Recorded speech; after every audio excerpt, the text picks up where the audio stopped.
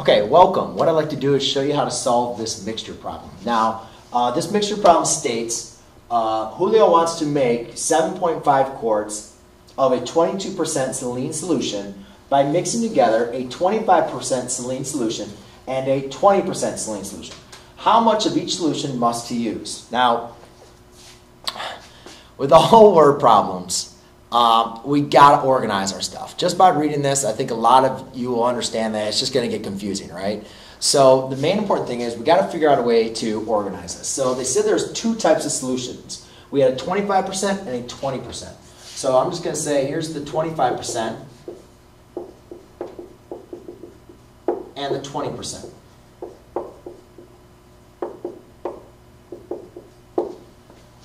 All right. Now, um, a couple things that we were talking about that we know about it. One is we know that uh, uh, we need to know how much of each solution, which we don't know, right? So that's going to be our, our unknown is the amount. So let's make the 25% solution x and the 20% solution y. Um, and then, you know, the concentration of each amount we can represent. So it's going to be 25% times our multiplier x is going to be of how much, you know, um, percentage of our solution in that amount. So I can write 0.25x, right? Because depending on how much solution I have, I'm going to multiply that by the percentage to know what is my percent per of the solution in my amount. And then this one was 20% of my solution. So the percentage of solution is just going to be 0.20 times y.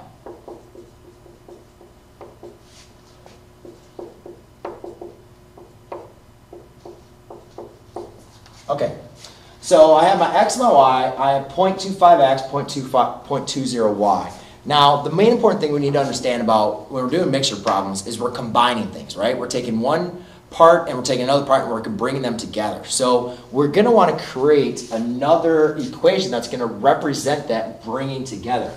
And one thing I notice is that he wants to make 7.5 quarts. So I could say the amount of my 25% solution plus the amount of my 20% solution is going to equal 7.5. So I could say x plus y equals 7.5.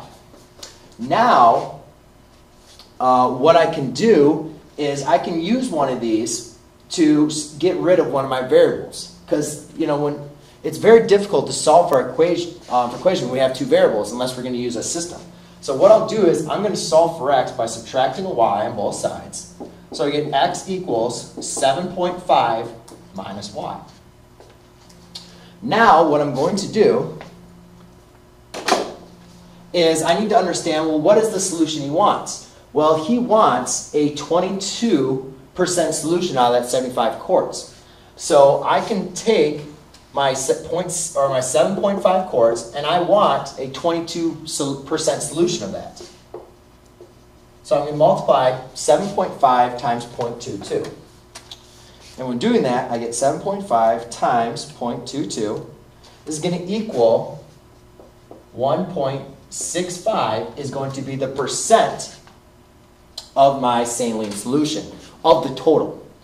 So what I can do now is if here's my total that I'm going to want, I'm going to want a percentage of my of my 25% solution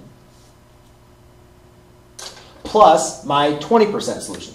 So what I'll do is, I'm going to want to add, so as I'm trying to say, I want to add this amount plus this amount equals that amount, right? Well, instead of writing x and y, I now have solved x for, um, or so I've now solved x equals 7.5 minus y. So I'm going to use that instead. So what I can say is, um, 25% solution, 0.25, and now instead of times x, I'm going to multiply it times 7.5 minus y.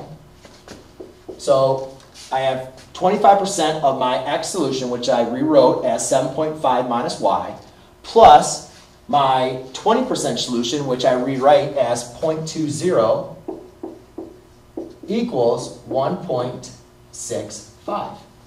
Now we have to do a little math, a little algebra. I'll uh, do my distributive property. So point, 0.25 times uh, 7.5 equals 1.875 minus 0.25 plus 0.2y, 0.20y equals 1.65. Now I can combine my like terms. Uh, so that's going to provide me with a negative 0.05.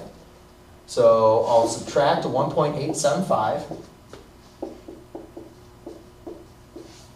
So 1.65 minus 1.875 gives me a negative 0.225.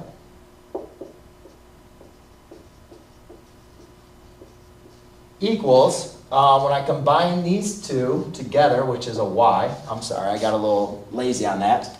0.25 times negative y is a negative 0.25y. When I combine them, I get a negative 0.05y. Let's write that a little bit closer. Negative 0.05y. Divide by negative 0.05 on both sides. And what I get is y equals 4.5. So therefore, the amount of solution um, for my y is going to be 4.5. So how do I figure out, so I'm going to use 4.5 of my 20% solution. How much of my x of my 25% solution am I going to have to use? Well, it's very simple. Just plug in 4.5 in for your y, and you get x equals 3. So therefore, I'm going to use 3 quarts. I'm going to use 3 quarts of my 25% solution and 4.5 quarts of my 20, 25% and of my 20% solution. So ladies and gentlemen, that's how you solve the mixture problem. Um, when dealing like this, it is a little work for us, but hopefully I help you uh, understand for you.